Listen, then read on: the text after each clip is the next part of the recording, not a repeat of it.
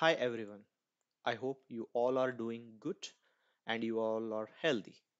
So in my today's video session, I'm going to explain the notion of app registrations in Microsoft Azure Cloud.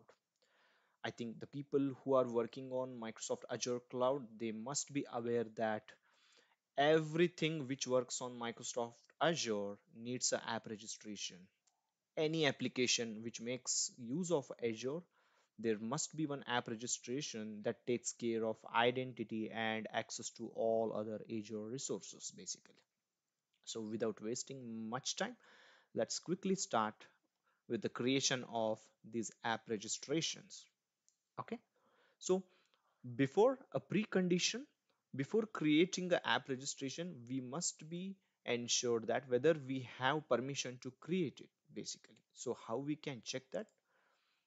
Uh, log into your Microsoft Azure portal it will look something like this. I have logged in with my email ID, which is a outlook.com email ID. So if I go here, go to Azure Active Directory over here, okay, and click on users.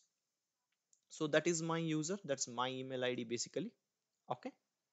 Now from here, go to the user settings, okay. Can you see this switch app registrations? User can register applications. If it is set to yes, then only you can create app registrations. And if it is set to no, then you don't have the permission to create app registrations. In enterprise level or in enterprise software development teams, usually the DevOps will be having complete control over the creation of app registrations. But there are some organizations where developers has the flexibility as well as luxury to create app registrations whenever they need. So this particular switch, we must ensure that this is enabled in order to create app registrations. Once this has been verified, now we can go to the home page and search for the app registrations. There are multiple ways you can navigate to app registration, but the most used one is this one. Okay, go to the Microsoft Azure search bar and type app registration and you will see uh, the automatic hint available over here. Click on app registrations. So at present, I don't have any apps registered in my uh, Microsoft Azure directory, which is the default directory or Active Directory I can say. Okay. So what I will do is I will click on create new registration. So if I see all applications, there is nothing registered at. So click on new registration and give a meaningful name. So for example, take I'm creating a web API, okay, which will serve the need of supplying data for my n number of clients who want to consume this service. Okay, I'm creating a RESTful service basically. So what I will do is I will give a name.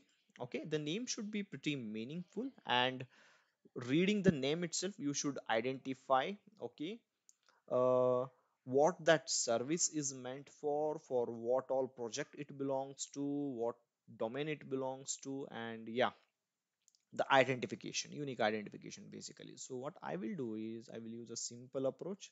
Say uh, i will give my company's name first. Say mb systems. Okay? Inside i have a department called uh, dev department let's say. Dev. Then what i will mention is what this application name basically it's a api say order api and then i will mention the unique identifier let's start with zero one. okay but you are free to follow your own conventions but usually you should give the app registration name in such a way that it will give this basic piece of information like the company name, the department, the API name, and its unique identifier. Okay. Then comes the supported account types. Okay. So what we are going to choose? There are four options. Accounts in this organization directory only. The default directory only. Single tenant. okay this means this is my default directory okay this is my account basically and i have only one active directory which is default directory now if i select this option now whatever users i will add to my default active directory. Only those users can access this api okay? Or this app registration i can say. What is the second option says? Accounts in any organizational directory any azure ad directory. See the precondition. It must be azure ad directory and it says it's a multi-tenant. So whatever organization. Now mbs is my organization. Say there is some more some other organization like uh, you can name cbs or you can name coca-cola or you can name pepsi okay? If they are also using microsoft azure and they also have azure ad directory then if i choose this option then trust me these organizations software services can access my web apis okay there are scenarios where you are required to provide some api services outside your organizational boundaries. So in such situations you make use of this option. Third option accounts in any organizational directory that is any azure ad directory multi-tenant. Okay the second option with personal microsoft accounts like skype and xbox. Apart from giving access to uh, other organizations you can give access to the personal accounts also. An individual microsoft account holder can also access this api okay that can be configured with this option. Personal microsoft accounts only where you are giving access to only personal microsoft account holders. So any user who is holding a microsoft account yes he can authenticate himself in order to access this api so for this example i'm going to select accounts in my organization only okay so click on before clicking on register yeah the most important topic of redirect uri So what does that say? We will return the authentication response to this URI after successfully authenticating the user. Providing this now is optional and it can be changed later also, but a value is required for most authentication scenarios. Now, in order to access this order web API, first the user has to authenticate himself and how the authentication takes place basically. The authentication is a federated authentication. The moment he tries to access this api first he has to authenticate he or she has to authenticate himself or her, herself by uh, yeah by passing the required client app id as well as the client app secret which is created for this application. That part i'm going to explain in few moments but just for your, information i'm telling that we need this additional information once we create this app registration basically. Okay?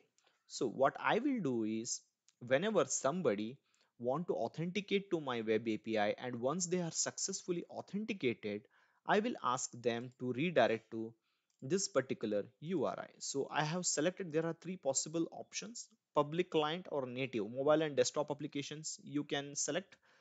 For the web apis or web applications select this one. And for single page application especially for angular react or any javascript applications please make use of this option. Okay? Now i'm selecting web because this also serves the purpose of single page applications also. So i'm selecting web and just give a callback url over here so let me give one example like portal dash mbs dash dev dot mbs.com and then I will mention a path called auth dash callback. What this endpoint does is basically whenever the user successfully authenticates to my web API or to my app registration, he will be redirected to the application's callback URL which handles the further or which handles the successful scenario of authentication. Okay, basically it will receive the auth token the authorization token on this endpoint and then it will take the further action from the application side. So now I will click on register. Hope it should register without any issues. Yeah, as you can see, it has registered an application with the name mbs dev order api hyphen 01 so what is the most important information over here guys? If you see this details the essentials section over here okay this application id is the most important piece of information which the outside world or the users who want to consume this application or api will make use of okay? So they must make use of this application id in order to locate this application for authentication purpose. And also another most important information being the tenant id basically my azure active directory that is my default directory where all my resources are being located in my scenario. But in enterprise level software you will be having a separate azure active directory okay? And inside that azure active directory you will be having different kind of subscriptions. One such example being a production subscription and non-production subscription okay? Under production subscription you will create your environments which are related to your production environment and under non-production uh, subscription you will create all your resources resource groups under that environment like the lower environment related resources. Well that's being said. Now what all the main important information we need over here is the application id and the tenant id or the directory id okay? There is one more piece of information which i'm going to generate now. It's called the client secret. Without client secret they can't authenticate to our web api so how to create that client secret? Simple. Go to certificates and secrets section in the left navigation pane. Okay. Now there are two approaches to authenticate. Okay. The outside users or the applications can authenticate in two ways. First of all you can upload a certificate you can buy a certificate okay? The ssl certificates will be available and there will be subscriptions for them also uh, in order to ensure security of your applications okay? Now what i'm doing is i'm going with the approach of client secrets okay? So what is a client secret? A client secret is basically a password generated by azure for your app registration okay?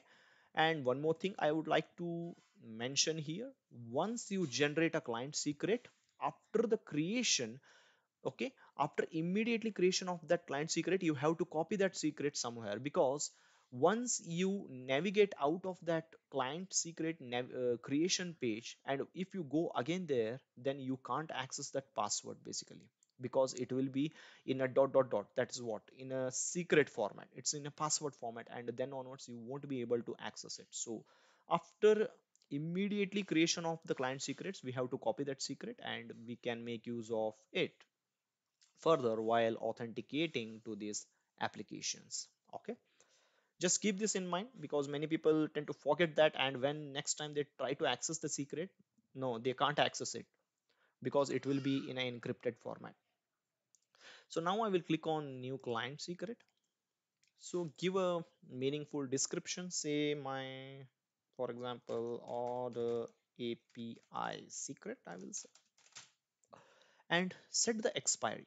Basically there will be three options. You can go with recommended six months. Now i'm getting multiple here but in enterprise level subscriptions okay or in enterprise microsoft azure accounts they will provide three options basically okay? You can select the recommended six months option or you can set the custom option or there will be one more option called never. So it basically the secret will never expire.